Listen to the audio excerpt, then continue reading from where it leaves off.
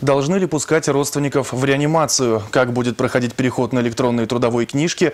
И правда ли, что за перевод денег с карты на карту придется платить подоходный налог? Обо всем этом в правовых новостях компании «Гарант».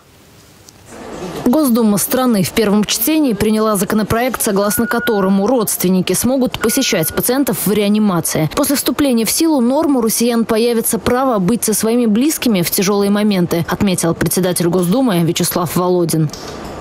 Проект не содержит четкого перечня родных и близких, которых, предполагается, будут беспрепятственно пускать в реанимации. В проекте сказано о родителях, иных членах семьи и иных законных представителях пациента. Регламентировать порядок таких посещений должен будет Минздрав России. Напомним, что пока ведомство ограничилось лишь методическим письмом по данному вопросу, которое не является обязательным к применению. Ко второму чтению законопроект обещают доработать с пациентским сообществом, чтобы снять все возникающие вопросы. Идет работа и над переходом на электронные трудовые книжки. Запуск системы запланирован на 1 января 2020 года. По замыслу авторов реформы, в конечном итоге от новшества выиграют все. Исключается возможность утери или подделки трудовой книжки, утери информации о работодателе.